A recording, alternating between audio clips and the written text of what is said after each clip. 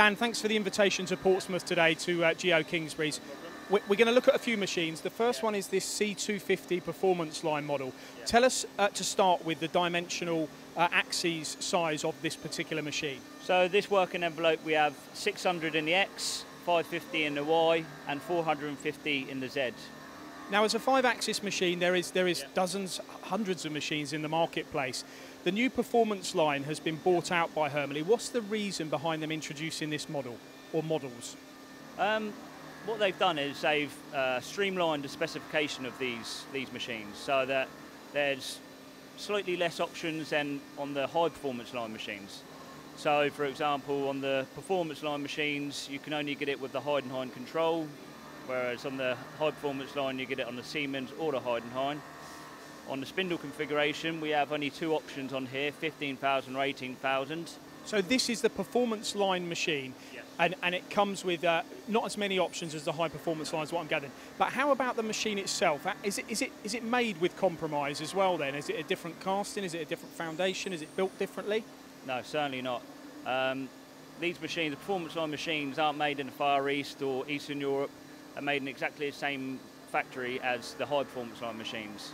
With the same engineers, same components, um, and same level of detail. Same testing procedures as they come out of the, out the factory? Yep, certainly, and the same mineral casting beds as well. Okay, now we all know that Geo Kingsbury's had a lot of success over the years with the, the C20, the C22 now, and 42. If I had one of those machines and then I opted for this C250, what, what differences am I going to see from a, on a finished part? Anything? In terms of surface quality, reliability, you're not going to see any difference because, like I say, these are all ma- uh, made up until the point of uh, options being put onto it. They're made exactly the same as the high performance line machines. Okay, a question people will be thinking as well then. Does that therefore mean that these, the C250 line, for example, the, the performance line, is less money than the C222? Yeah, because we've because they've streamlined the specification, um, Hermle are making more machines of the same build. So bringing you into a new market basically now, you, you, you can offer, you can compete maybe where in areas where you couldn't before because price is a, is a sensitive subject sometimes. It certainly is, yeah. Especially when Hermle obviously make a high quality machine.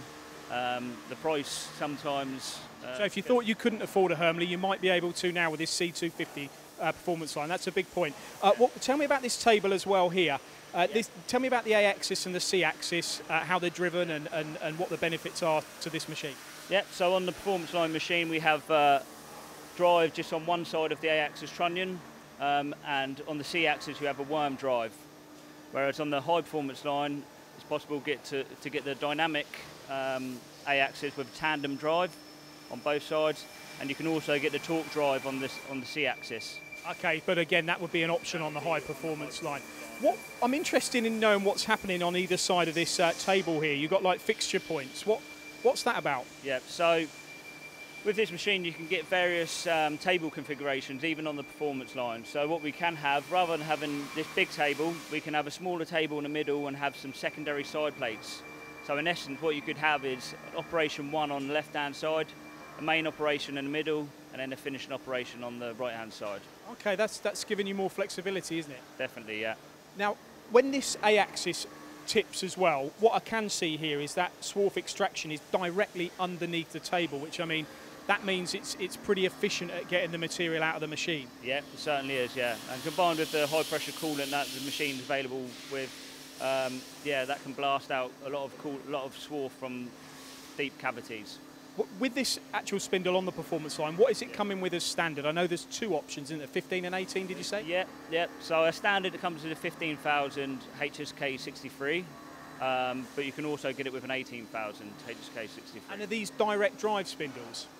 Um, these are two-piece spindles. Um, so what you have in between them is you've got some crush bushes, which if you have a Z-axis collision, uh, the crush bushes would take the brunt of the collision and save the spindle itself. Ah, hang on, that's quite unique. Is that is that uh, uh, you, is that only to design from from Hermle? Yes. so on the Z-axis? If I have a I have an incident that is like a cushioning impact. Yes, yeah. So you, these are sacrificial aluminium bushes which take the, the brunt of the collision and uh, trigger an e-stop. Before any damage is done.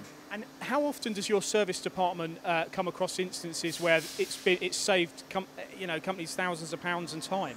Yeah, well, our service engineers they have these crush bushes in the back of their car, so if if unfortunately it does happen, um, then it takes half a day for our service engineer just to take the bottom piece of the spindle out, replace the bushes, and then put it back together. Impressive, very impressive that one. What about the this machine and its accuracy and maintaining accuracy? Does it is, is scales an option just on the high performance line, or is that available on this too?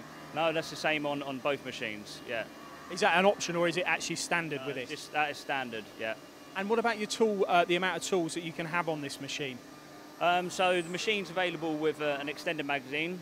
Um, so we got either a ZM50, which is an, an additional 50 tools, or a ZM88, which is an adult, obviously 88 extra tools. But if I was, if I didn't want that, and I'm looking at this machine here, which has been doing demonstrations for customers and, and, available from stock, what would it come with as standard without the additional tool changer?